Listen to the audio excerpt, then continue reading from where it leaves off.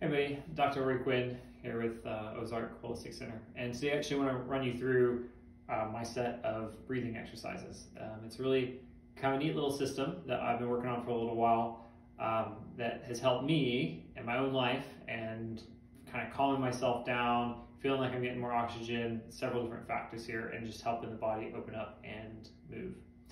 Um, so what we're going to do is I'm going to teach you how to breathe into what I kind of call the seven diaphragms. So really we only have one diaphragm. It sits right here. But coming with the background, when you look at uh, cranial sacral work, when you look at the effects of breathing on the human body, there's other places that expand and contract with breath. And so I focus people into those different areas in order to kind of find them, but then also to kind of enhance that expansion and contraction. I wanted to use exercise as, sorry, I wanted to use breathing as an actual exercise. So if we look at it from that standpoint of doing these little sessions on a regular basis, then you can actually expand your breathing capacity um, and increase its efficiency. Um, and it's also its efficiency to move your sacrum and your cranium and the whole spinal structure. Breathing can act as a way to actually release the spine and keep it, um, remove some of those restrictions and keep it more fluid which will help in lots of different things from just back pain, neck pain, to even just range of motion and functionality. So, where we actually start, we're to run you through these different areas, um, and they uh, just for starters, they kind of the kind of the hip area, the lower pelvic area, the abdominal area, the chest area, the upper chest, um, more up into the cranium, and then actually the full cranium. So those are the different areas we're to focus in we start, because I want to show you this actual process of what we call breathing with the, with the diaphragm. So we're actually going to start first with the diaphragm, because that's actually where the breathing, the whole breathing mechanism, mechanism is going to kind of originate from. Um, and then there'll just be different focusing points as we go into the different areas. So to find the, the diaphragm, um, actually the easiest thing to do is actually to exhale. We have people start by actually exhaling all of your breath as you breathe all the way out, like really out, and continue that tightening process, you'll feel it start to tighten like right there. That is the sensation of your diaphragm actually tightening in. So as you pull that really, really tight, you'll feel that, and you'll feel this need to like release. So then as soon as you take a deep breath in, you'll naturally feel that expand. That is your diaphragm, that contraction and expansion right there. Just like that. And So this is actually the first, again, this is stage one. There's a second phase to all this where we kind of add some more factors in, but this is just your first kind of awareness, how to find these different places, these different spaces. And so because of that, we, we start with that contraction where you really want to tense up, and then that expansion, that letting go where you take your breath in. And again, the purpose of this, to find those places and those pieces of movement. So that's the actual breathing mechanism. So the mechanism will be with the actual diaphragm, just like that. So the first area we're to look at is, is the pelvic area, the pelvic floor.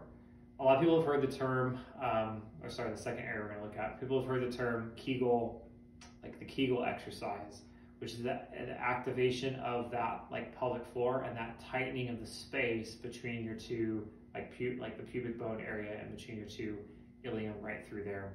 Again, that pelvic floor. So the um, exhalation, the breath out, will be the contraction, which is that Kegel exercise. So in this case, as you breathe out, you're going to tighten into that kind of like Kegel exercise where just really tight and hard. And then as you release it and breathe in, you'll feel that space and feel it kind of push out. You will kind of, kind of you can actually feel kind of an outwards pressure going out almost into the hip bones as you do that.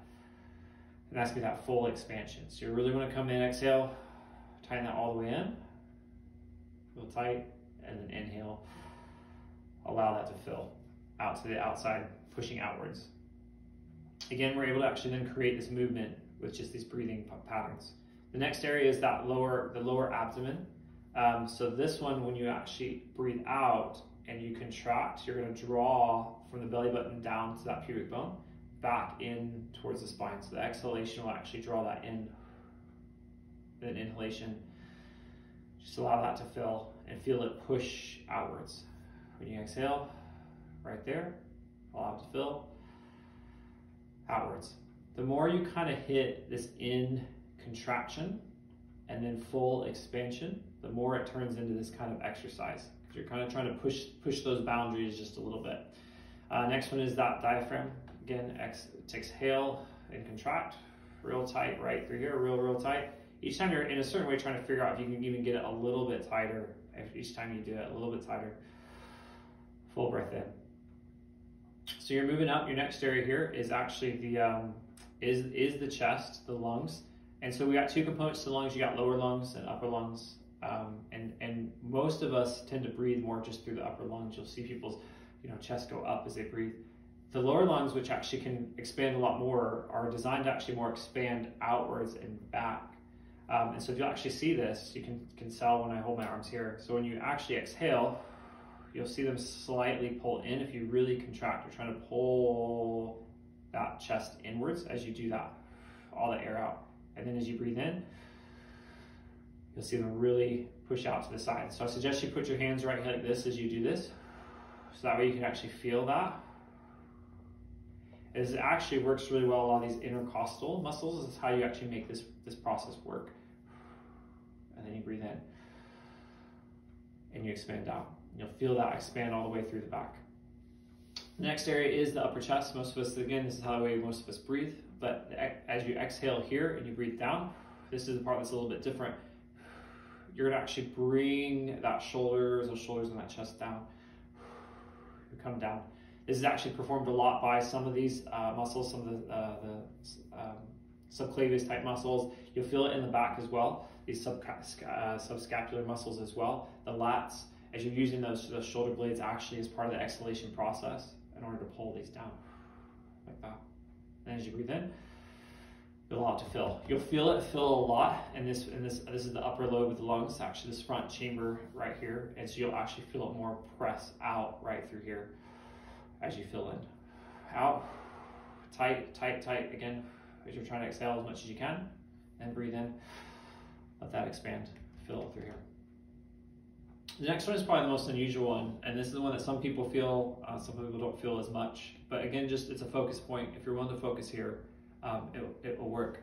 Your cranium is made up of actually all these different bone structures uh, that come together, uh, and so we call them the cranial bones.